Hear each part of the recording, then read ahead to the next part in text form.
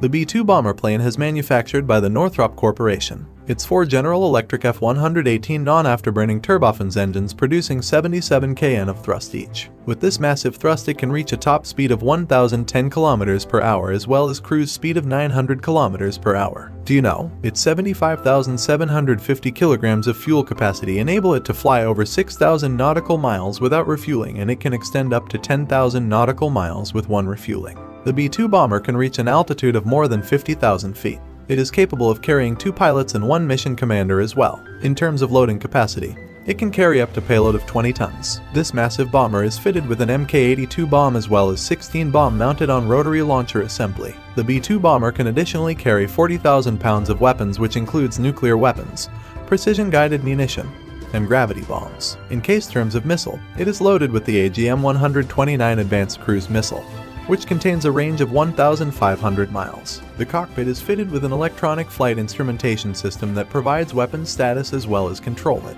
Its Raytheon Covert Strike Radar offer a feature of terrain following and terrain avoidance modes. This amazing bomber has made of a mix of over 200 chemicals, sheets of composite material, and high-tech paints. Do you know that the jet holds the record for the longest air combat mission in history?